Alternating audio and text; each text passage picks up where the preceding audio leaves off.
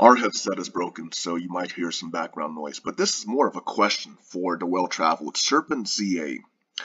Uh, again, this is actually practical nuts and bolts rather than a political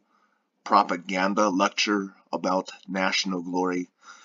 But basically, to these expats, what the difference is, what I'm going to be doing is repatriating permanently. I'm going to be leaving a foreign country for a native country.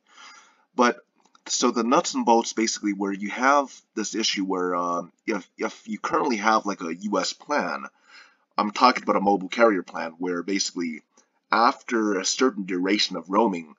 uh, your services could be cut off. And based on what I found, you can't keep,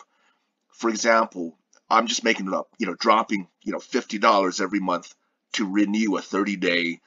whatever international, you know, package uh, basically, so what I'll probably do, if if there's any uh, if there's any relatives in the U.S., I'll, I'll, have them maybe take over some business, and then uh, what I'm gonna do is basically, uh, you know, I'm uh, in terms of repatriation, uh, getting that national, uh, getting the residency, the, and also getting uh, getting a national citizen ID card, basically but basically the um, the first difficulty, the first the first uh, issue, it's actually not a difficulty issue, but basically, you know, you have you have the grand plan of national repatriation, but the, then you realize the um, well, you, you need you need the you you need to transfer uh, basically